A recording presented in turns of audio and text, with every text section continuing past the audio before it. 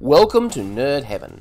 I'm Adam David Collings, the author of Jewel of the Stars, and I am a nerd.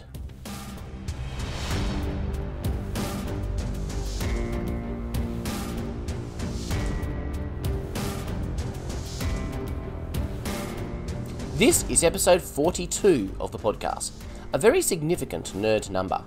So let's just take a moment and appreciate life, the universe, and everything. Okay, on with it.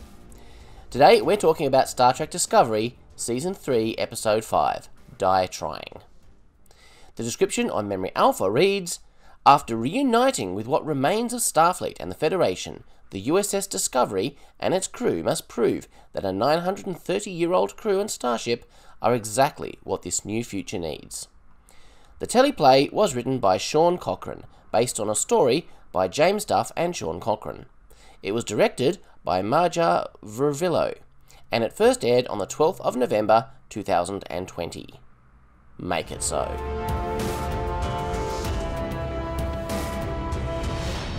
The episode opens with Saru giving a captain's log, and that's awesome. I think it's the first time we've ever heard him utter those iconic words. The interesting thing is, it's a supplemental log. Last week started the same way, with Dr. Culber giving a supplemental log. A supplemental log is just that it's a supplement. The original series used supplemental logs as a little catch up for those viewers coming in partway through the broadcast who might have missed the beginning of the episode. In universe, it's like an addition to the day's log. Now, it's conceivable that we would open a story with them supplementing their log, but the things they say just don't seem very supplemental. They feel like the main content of the log. The first two seasons of the show often used supplemental logs to good effect because it meant they didn't have to quote a stardate, and they had no good system for stardates in the pre TOS era. But we're now in the 32nd century. We have a good stardate system. In fact, a stardate will be mentioned later in this episode. So why are they doing all these supplemental logs at the start of episodes? Feels a little weird. But anyway, Saru is giving a captain's log, and I love that. Discovery is about to arrive at the coordinates where they'll find the headquarters for both Starfleet and the Federation. And it's nice to see that the writers are finally understanding the distinction and the relationship between those two entities. There's a hint of misgiving in Saru's voice. They don't know what the Federation or Starfleet look like in this century. Will they be eager to see a 930 year old starship? Will the Discovery crew have a hope of fitting in with this version of Starfleet? Will the common ideals remain enough to bind them together, as they were in the fantastic crossover novel Star Trek Federation by Judith and Garfield Reeves Stevens? It's a great book, check it out if you haven't read it. Michael doesn't just want to know what's become of Starfleet in this universe, she wants to find out what happens to her mother. Maybe there'll be some answers here. So headquarters is contained in a distortion field meant to hide it. I'm not sure it's very effective. It's this big, glowing blob thing that must raise a few eyebrows, both visually and on sensors. But anyway, Discovery flies in. Have you noticed that the shuttle bay doors always seem to be open these days? I know they have a force field to hold in the atmosphere, but that's just meant to be up while the doors are open for the ships to come in and out. It's kind of weird they just fly around with it open all the time. It's very odd. I mean, it looks cool on screen, but it's not very practical. The opening sequence is just a massive Star Trek geek out. We get to see a bunch of 32nd century Starfleet ships, but we don't get a really good look at them. The lighting in this shot seems designed to obscure them more than show them off, which I think is a terrible shame. I want to get a sense of these ships. One of them seems to have really long nacelles, like Discovery. Another seems to be shaped like a donut. The looks on everyone's faces is priceless, and kind of matches how we'd all feel if we suddenly found ourselves in the heart of Starfleet territory surrounded by ships. The crew notice ships with neutronium alloy fibers, organic hulls, ships that are entirely holographic, a new USS Constitution that can sleep a crew of 2,000, detached nacelles, and a flying rainforest. And then we see the USS Voyager, NCC 74658J, which is really cool. Not all Starfleet ships that reuse the name of a previous vessel get the letters in the registry. Often, they just get a brand new number. It's only special ships that retain the registry number and add a letter on the end. The Enterprise was one example. It seems Voyager is another, and that makes sense. Voyager's journey home from the Delta Quadrant would be the stuff of legend in this day and age. We don't get a great look at the new Voyager, but its primary hull seems to follow a similar shape to the original. It's the 11th ship to bear the name. Memory Alpha has said that the Voyager J is a 32nd century Intrepid class ship. But that doesn't really make sense. The Intrepids were a class of ships used in the 24th century. Starfleet doesn't reuse the class name like that. If it were an Intrepid class, it should look exactly like the original Voyager, Anyway, this isn't on screen canon. And then the big moment. We fly past the USS Nog, NCC 325070. This is a blink and you'll miss it moment. And honestly, you'll probably miss it even if you don't blink. You can barely read the name with all the lens flares going on. This particular moment was spoiled for me by the internet because I don't get Discovery until Friday night here in Australia. So I spent the whole episode waiting for the USS Nog to show up. I expected it to be a significant part of the story. It wasn't. It was just a quick visual Easter egg. But it's an awesome one. I love that they did this. Alex Kurtzman has confirmed that this ship is named after the character Nog on Deep Space Nine, who was the first Ferengi to join Starfleet. And he said that this is an Eisenberg class ship. This, of course, honours the late Aron Eisenberg, who played Nog, and who tragically died over a year ago. In my opinion, Nog was one of the greatest characters in all of Star Trek. He had the greatest character arc the show has ever done, and by all accounts, Mr. Eisenberg was a wonderful human being. So I'm thrilled that Discovery honoured him in this way. After Discovery hails headquarters, letting them know the USS Discovery is reporting for duty, they ask for the captain, first officer, and Tal to beam aboard. Their sensors can obviously detect the presence of the symbiont. As they are snatched away by the transporter beam, the musical score goes full on fanboy, which honestly was appropriate for this moment. We get a decent look at the new Starfleet uniforms. They're similar, but not quite identical to what we saw in Tal's memories last episode they look like a decent continuation of the style that we've seen on the USS Relativity and from the temporal agents in the Temporal Cold War. There's a bunch of new uniforms. The Admiral's uniform is different, obviously, as it always is. And then there are light greyish blue uniforms with a stripe going up them in the traditional TNG era department colours. But there is another uniform, light grey on the bottom with dark blue shoulders, in a shape I'm not quite sure how to describe in words. This is worn by the Chief of Security and at least one other officer. This particular uniform looks the least Starfleet to me, and seems to be out of place among the others. Oh, and the com badges are not identical to the one worn by Admiral Senna Tal. I actually prefer Tal's com badge, because the Starfleet Delta is a bit more visible. But anyway we meet Admiral Vance, Commander in Chief of Starfleet. Saru is delighted to learn that Kaminar joined the Federation. That's nice. We learn about the Emerald Chain, a coalition of Andorians and Orions. And we learn of someone called Osyraa, who is becoming more brazen every day. I imagine we'll learn more of him and his organisation in future episodes. The Emerald chain gets name dropped again later. The Admiral knew Senna Tal, but makes it clear that he and Adira are strangers to one another. And then Adira is taken off for a medical diagnostic, and that's the last we see of her in this episode. I wonder what all of this is about. Maybe they just want to make sure that the symbiont and the human host are healthy with one another. But the Trill themselves would have been better equipped to determine that. I'm really curious what this is all about. And I noticed on my first watch there was a little visual Easter egg, a mention of the Kazon on a computer monitor. I imagine that before the burn, the Federation's influence extended into the Delta Quadrant, maybe even the Gamma Quadrant. Distances that were insurmountable for Voyager were probably considered just next door before the burn. This season, and this episode in particular, are making me feel the same way that I felt when I started watching TNG. This is Star Trek, but it's a whole new Star Trek. It's a great feeling. I enjoyed the first two seasons of this show, but I'm loving this season way more than I was expecting to. But then we learn about the Kili. Some refugees of a cool looking new alien race are sick with some kind of disease. Burnham is immediately keen to help with that problem, but Vance wants to hear their story first.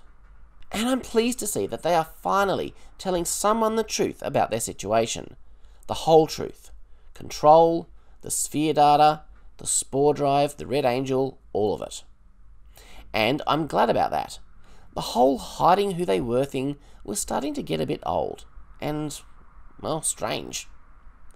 The rather annoying EMH notes that Saru may be the last Kelpian who still retains a biochemical trace of the Vahar'ai, which is odd because Vahar'ai is basically a stage of development, like puberty.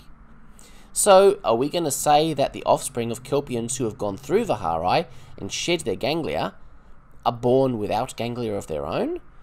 That they are born as evolved Kelpians, as the second season rather incorrectly called them? That's weird. Remember, long ago there were evolved Kelpians, but the Ba'ul forced them back into their pre Vahar'ai state. None of this has been explained very well. There are currently 38 member worlds of the Federation that Vance is aware of. There may be other worlds out there that still consider themselves members of the Federation, but have lost all contact there were 350 member worlds at the Federation's peak. I wonder when exactly that peak happened. And I do still love the floating tables and chairs. They're cool. The EMH, Eli, has confirmed that Saru and Michael are not lying. But Starfleet records hold no references to Control, a Red Angel, or a Spore Drive. Thanks, Spock. so he's understandably skeptical. He can't corroborate their story, and the Federation spent most of the 30th century fighting a war to uphold the temporal accords. We, of course, know this as the Temporal Cold War. Time travel is outlawed, which means the Discovery crew's presence here is by definition a crime. This all makes perfect sense. Given their past, the present day Starfleet will be very uncomfortable with time travelers even if they claim to have come from a time far predating the Temporal War. Are the Discovery crew here as an attempt by somebody to change the future? He can't rule that out, and he shouldn't. He can't afford to trust them without evidence. You'll notice that Starfleet, and Vance in particular, is the antagonist of this episode, because he opposes Saru and Michael's goal he stands in the way as an obstacle to what they want. Note that this doesn't make him a villain. This isn't evil Starfleet. I think a lot of fans have had enough of evil Starfleet lately. No, this is Starfleet being cautious, as they should. Vance plans to requisition Discovery for analysis and retrofit, and split up the crew. This immediately gets our heckles up. That sounds terrible, the crew of Discovery are a family. And yes, in this season, they have earned that descriptor. The reason they all left their lives behind to come into the future was so that Michael wouldn't have to be alone here. If they are split up now, it defeats the whole purpose. They might as well have stayed in the 23rd century and let Michael fly Discovery on autopilot as she originally planned. This is really upsetting to all of them, and not something any of them are going to want to take sitting down. And I'm totally on their side in this. However, what Vance is saying makes sense from his point of view. If the Discovery crew are here for some nefarious reason, it decreases the probability of them being able to carry out whatever it is they intend by breaking them up, separating them randomly. It seems harsh, but I understand why he's doing it. Vance asks Saru to put the needs of Starfleet ahead of the needs of his crew. That's hard. There's a fantastic scene between Saru and Michael back in Discovery's ready room. Michael is all worked up about this, and understandably. She makes some good practical points why Vance is wrong, why the crew should be kept together. They know this ship, they know the spore drive, and if this family is broken up now, some may never recover. All true. But Saru rightly points out that it's Vance's call. He's the admiral, he's the commander in chief. They chose to rejoin Starfleet. They could have just stayed out there as a rogue element, like so many others in the galaxy. They chose to come back and submit themselves to Starfleet's chain of command. The balanced two sided conflict here is delicious. Michael is all set to steal information about the Kili so they can help cure the disease and prove their worth.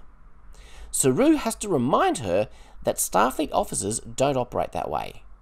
A lesson he thought she'd learned by now after her ill fated mutiny on the Shenzhou. And I think she has. But she's been living as a free spirit in this century for a year. She admitted she'd let go of things. She needs to be reined in by Saru, and she knows it. Her humble realization of that is nicely portrayed. While the crew are interrogated, with various levels of cooperation, Saru and Burnham attempt to request the roster of planets the Kili visited through official channels. They're starting to get through to Lieutenant Willa. Burnham's unique knowledge of the past helps her to solve the mystery of the Kili illness. The only way to cure it is to get hold of some pre-mutated plants from Erna. The only place to find this is a Federation seed vault ship, which still exists today, the USS Tikhov. It holds samples of every plant in the galaxy. It's like a vast seed library. The problem is, the Tikhov is four months away. The spore drive is the obvious solution, but the only crew member Vance needs is Stamets. He's going to put a whole new crew of trusted officers on Discovery. Burnham makes some valid points in argument, but as usual, her tone is insubordinate. It takes Saru to find the diplomatic middle road. He'll remain on the station, kind of like collateral. Burnham will command the Discovery, but Willa and two security officers will accompany them. You see, Vance is not completely unreasonable, but he does need to be convinced. So they jump to the Tikhov's coordinates, but the ship is stuck in an ion storm. They have to reach in and tractor them out. And this is where we get another great Detmer scene. As things get tense, she starts to blank out. She's going all distant again, because once again the pressure is all riding on her shoulders. But Owo notices she's freezing and gives her some reassuring words. You have time. You can do this. I really liked this. I can see a real friendship growing between these two characters. Kind of like a Geordi Data thing or a Tom and Harry thing. The most interesting part of the interrogations is definitely the Georgiou stuff. The bit where she shuts down holograms by blinking at them is kind of weird. The guy who questions her is kind of interesting. He wears glasses because he thinks they make him look smarter. Remember, even in the 23rd century, glasses were mostly a thing of the past, unless you're allergic to Retinax 5, like Kirk. He reminds me a little bit of Bill Nighy. He's fascinated by the Terrans, and Georgiou in particular. They built an empire based on the maxim, because we feel like it. So why did she join a Starfleet crew? He figures out that she has a personal stake. She cares, personally, for Michael. He also figures out that the only way he'll glean information from her is by the questions that she asks him. Nice. She wants to know who is really calling the shots in the galaxy today. Who caused the burn? Are they the same? You can see that she's already planning her next move. Is she wanting to take over the whole thing for herself? Maybe set herself up as Emperor again? It's in her nature. But she learns that the Terran Empire fell centuries ago, which we know from Deep Space Nine. It's all thanks to Mirror Spock's preaching of peace, as motivated by Kirk. But as Kirk pointed out, the Empire could not stand forever. It would fall eventually. This really seems to have rattled her.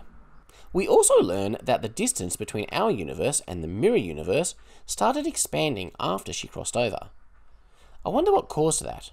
Kirk's encounter there? Something else? There hasn't been a crossing in over 500 years. That puts the last crossing at no later than the 27th century. He said over 500, so I wonder exactly how much earlier it was. And I wonder what the mirror universe looks like now in 3189. Different Federation worlds take turns looking after the Seed Vault. At present, it's a Barzan family. Nhan is excited to learn that her people joined the Federation in the 25th century. The Tikhov is overgrown with plants, which is a little weird. It'll be explained later, of course. They find a hollow recording of the Barzan family.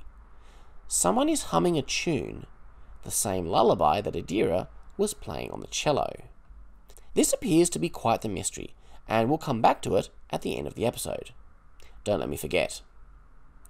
While looking through the logs, Nhan learns that something terrible just happened here.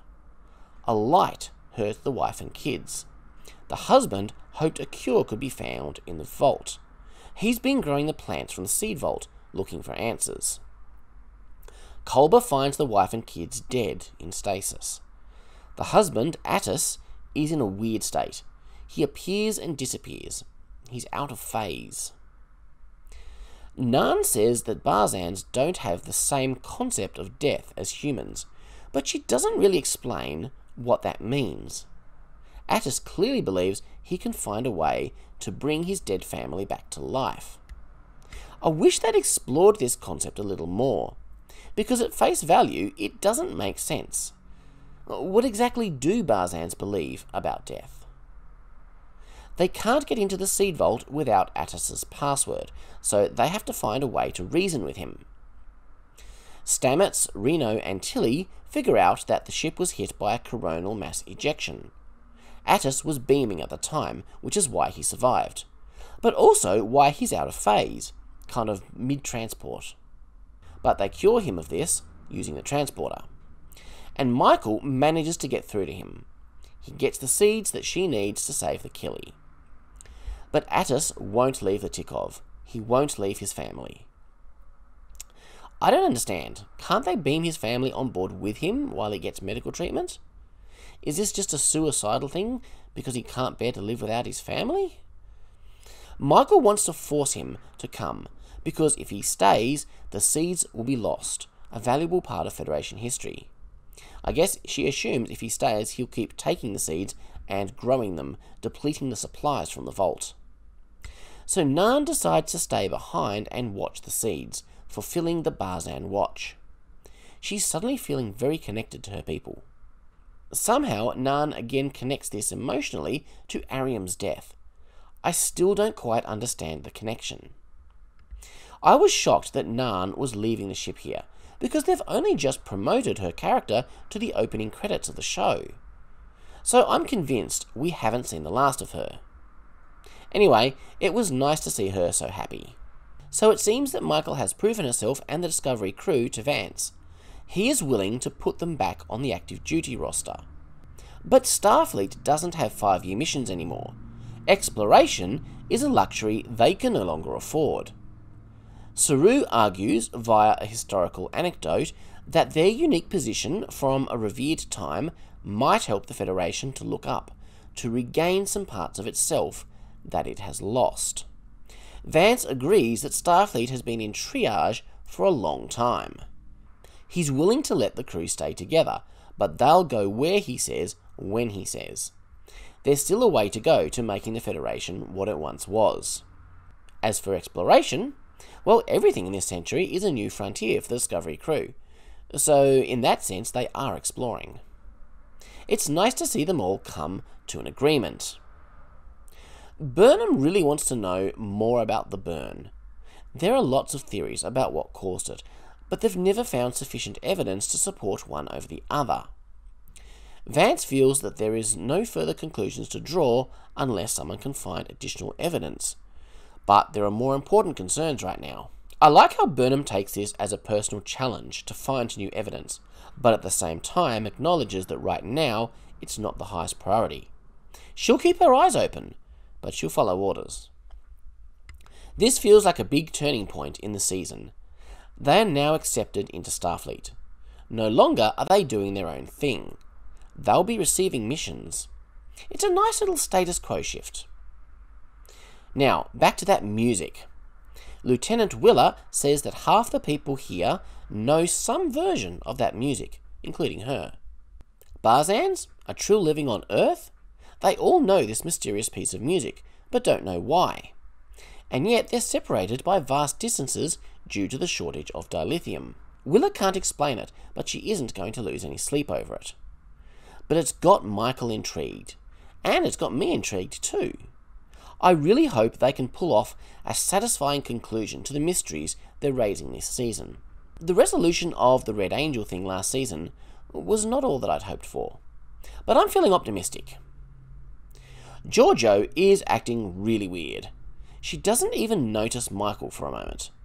I think she's in grief because the Terran Empire fell, and that she's so far from home, probably never to see it again. But I also think she's plotting and that worries me a bit. But at the same time, I'm pleased to see that they're being honest with her character.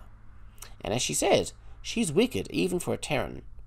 I think in season 2, the writers forgot that. Saru needs to remind Michael to choose her words more carefully with the Admiral in future. If he'd been a less reasonable man, things might not have ended up so well.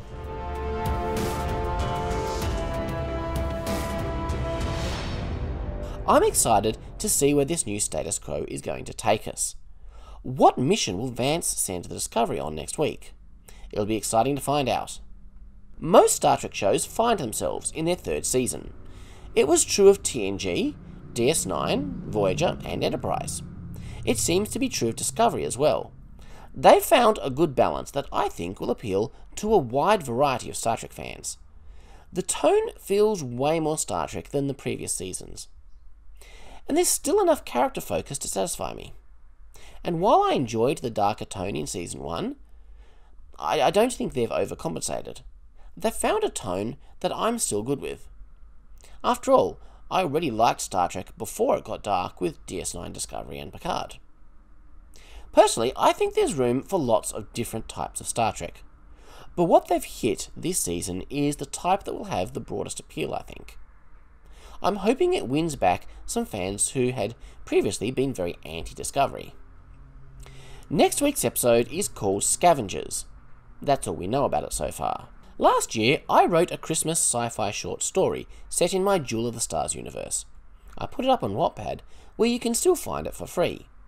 But I've just published it on all the major ebook retailers, where you can find it for 99 cents. So, whichever way you prefer to read it, I encourage you to check it out. It's a nice little story to get you in the festive mood. Because Christmas does seem to be coming a bit early this year. After a very strange year, I don't blame people for wanting to hold on to something fun and happy. Anyway, my story is called The Christmas Star Disaster. You can find it at books2read.com slash Christmas Star, and that's the number two. See you next week. Live long and prosper. Make it so.